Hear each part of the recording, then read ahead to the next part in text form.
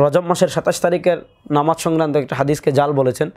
তারপরে বলেন ইব্রাহিম আসকালাম রাহিমাহল্লার বক্তব্য নকল করছেন যে, ফাইন্নহ কালা ইমাল আহাদিস উলওয়ারিদাফি ফি ফদল রজব আউ সিয়ামিহি আউ সিয়ামি শাই আলা কিসমাইন। যে, রজব মাসের ফজিলত সংক্রান্ত যতগুলো হাদিস এসেছে, রজব মাসের রোজা সংক্রান্ত যতগুলো হাদিস এসেছে, সবগুলো দুই প্রকার, সঈফা ও মৌদুয়া হয় জঈফ না হয় জাল। বিসমিল্লাহ রহমান রহিম।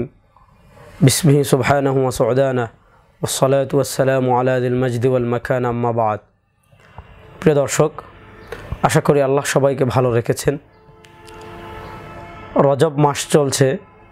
রজব মাস মানেই আমাদের সামনে রমাদানুল মুবারক হাতছানি দিচ্ছে। রজব মাস উপলক্ষে বেশ কিছু বিষয় আছে আমাদের দেশে। আজকে আমরা ধারাবাহিকভাবে সেগুলো নিয়ে কথা বলব ইনশাআল্লাহ। প্রথম পর্বে আমরা যে বিষয় নিয়ে আলোকপাত করার চেষ্টা করব, সেটা হচ্ছে রজব মাস আসলে আমাদের দেশে একটি দোয়া ব্যাপকভাবে সবাই পড়েন। কেউ নামাজের পরে, আগে বিভিন্ন সময়ে দোয়া পড়েন। আল্লাহম্মা বারিকলা নাফি রজাবা ও শাহবান ওবাল্লিগনা রমাদান। আজকে আমরা এই দোয়াটা প্রথম কথা তো আপনি আল্লাহর কাছে দেখ যে কোনো দোয়া করতে পারেন। আল্লাহম্মা বারিকলা নাফি রজাবা ও শাহবান আল্লাহ আমাদেরকে রজব এবং শাহবানে বরকত দিন। ওবাল্লিগনা রমাদান এবং আমাদেরকে রমজানে পৌঁছান। এই দোয়া আপনি আল্লাহর কাছে করতেই পারেন। দোয়া করতে তো কোনো সমস্যা নেই।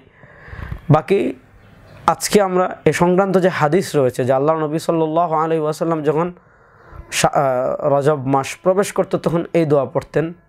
এই সংক্রান্ত যে হাদিসটি রয়েছে সে হাদিস নিয়ে পর্যালোচনা করব ইনশাআল্লাহ। প্রথম কথা, এই হাদিস হজরতে আনাসিবনে মালিক রাদি আল্লাহ তালু থেকে বর্ণিত হয়েছে। আমার কাছে মুসনাদে আহমদ রয়েছে, যেটা শেখ সোয়াইব আরনাউত রহিমাহুল্লার তাহকিক তালিক করা। মুসনাদে আহমদ, চার নম্বর খণ্ডের।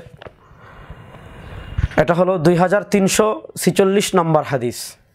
ইমাম আহমদ ইবনে হাম্বাল রহিমাহুল্লার সোয়াইব আরনাউত রহিমাহুল্লার তাহকিক তালিক করা দু হাজার তিনশো ছিচল্লিশ নম্বর হাদিস।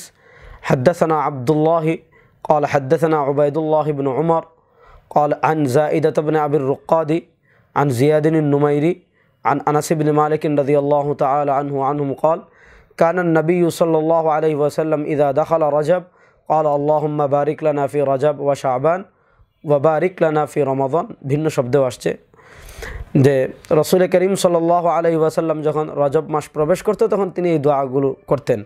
ওয়াকানা ইয়াকুল লাইলাতুল জুমাতি গর্রা ওয়াউমুহা আজহার। তো এই হাদিস আর ভিন্ন শব্দে, ভিন্ন শব্দেও এসেছে। তো এটা হলো মুসনাদে আহমদের দু হাজার তিনশো ছিচল্লিশ নম্বর হাদিস। এই হাদিসে আমরা পেলাম আল্লাহ নবী সাল্লাহ আলি ওয়াসাল্লাম যখন রজব মাস প্রবেশ করতো, তখন আল্লাহ নবী সাল্লাহ আলি ওয়াসাল্লাম এই দোয়াটি পড়তেন। তো প্রথম আমরা শেখ সোহেব আরনাউত রাহিমাল্লার তালিকটি পড়ব। অর্থাৎ তিনি টিকায় কী কথা লিখেছেন? হাদিসের হুকুমে যাওয়ার আগে আমরা শেষ দিক থেকে এটার তাখরিজ পড়ব যে ইমাম আহমদ ইবনে হাম্বাল রহিমাল্লাহ ছাড়াও এই হাদিসটি আর কে কে তাদের কিতাবে উল্লেখ করেছেন। শেখ সোহেব আরনাউত রহিমাল্লাহ বলেন, আখরাজাহু ইবনুস সুন্নি ফি আমল ইয়মি ওয়াল্লাইল আমল ইয়মি ওয়াল্লাইল নামে আমরা জানি হাদিসের অনেক কিতাব আছে। বিশেষ করে ইমাম নাসাই রহিমাল্লাহটা প্রসিদ্ধ। আর ইবনু সুন্নি রহিমাল্লাহটাও প্রসিদ্ধ। ইবনু, ইমাম নাসাই রহিমাল্লাহ আমালুল ইয়মি ওয়াল্লাইল এই নামে কিতাব লিখেছেন। ইবনু সুন্নি রাহিমাহুল্লাহ একই নামে কিতাব লিখেছেন। তো ইমাম ইবনু সুন্নি রাহিমাহুল্লাহ, তিনি আমলুল ইয়মি ওয়াল্লাইল এই কিতাবে হাদিস উল্লেখ করেছেন ছয়শো উনসত্তর নম্বর, উনষাট নম্বর হাদিস। ওয়াল বাইহাকি ফি সোয়াবুল ইমান ইমাম বাইহাকি সোয়াবুল ইমানে উল্লেখ করেছেন, মিন তরিক ওবায়দুল্লাহ ইবনু উমর আল কাওয়ারির বিহাজ আল ইসনাদ। মানে এই সনদে বর্ণনা করেছেন। ও আখরজাহুল বাজ্জার মুসনাদে বাজ্জার এসেছে। ও আবু রাইম ফিল হিলিয়া মিন তরিকাইন আন জাইদা তবে দুই মানে দুই সনদেই জায়দা রয়েছে। তো এই হাদিসের মাদারে সনদ হলেন জাইদা তুবনু আবির রুকাদ তো জরাহ তাদিলের ইমামদের মতে জাইদা তুবনু আবির রুকাদ হলেন জয়ীফ এবং কোনো কোনো ইমামগণ তাকে মুনকারুল হাদিস বলেছেন। যেহেতু তিনি মুনকারুল হাদিস, এজন্য মহাদ্দিসিনে কারামগণ এই হাদিসকে জয়ীফ বলেছেন জাইদা তুবনু আবির রুকাদের কারণে। যেমন আমি ইবনা হাজার আসকালানি রহিমাল্লাহর বক্তব্য আমি আপনাদেরকে দেখাতে পারি। এই যে এই কিতাবের নাম মজমুআতু রাসাইল লাকনবী, আবদুল্লাহ লাকনবী রহিমাল্লাহর রাসাইলের অনেকগুলো মজমুয়া এটা হলো পঞ্চম খণ্ড। মজমুআতু রাসাইল লাকনবীর পাঁচ নম্বর খণ্ডের শুরুতে একটা রিসালা আছে আব্দুল লাকনবী রহিমাল্লাহর বিখ্যাত কিতাব, যেটা মাজমাত রাসাইল লাকনবীতে মাজমাত রাসাইল লাকনবীতেও আছে, আবার আলাদাভাবেও ছাপছে। আল আসারুল মরফুয়া ফিল আখবর ইল মৌদুয়া বেশ কিছু সমাজে প্রসিদ্ধ জাল হাদিসকে একত্রিত করে লাকনবী রহিমাল্লাহ এই কিতাবটি লিখেছেন। সেই কিতাবের পঁয়তাল্লিশ নম্বর পৃষ্ঠায় তিনি শিরোনাম দিয়েছেন, ফি জিক্রে আহাদিস সলাওয়াত হাদিস সলাত ইলাইলাত ইসাবে ওয়াল ইশরিন আমিন রজব।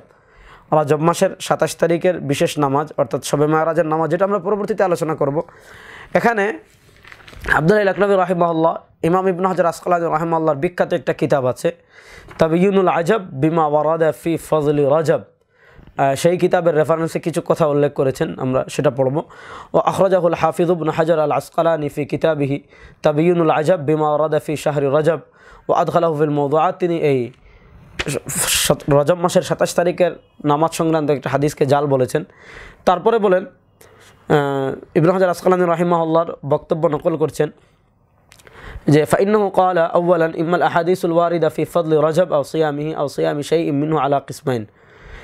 যে, রজব মাসের ফজিলত সংক্রান্ত যতগুলো হাদিস এসেছে, রজব মাসের রোজা সংক্রান্ত যতগুলো হাদিস এসেছে, সবগুলো দুই প্রকার জয়ীফা ও মৌদুয়া হয় জয়ীফ না হয় জাল। ওয়ানহানু নাসুক ও জয়ীফা আমরা জয়ীফ হাদিসগুলোকে উল্লেখ করব।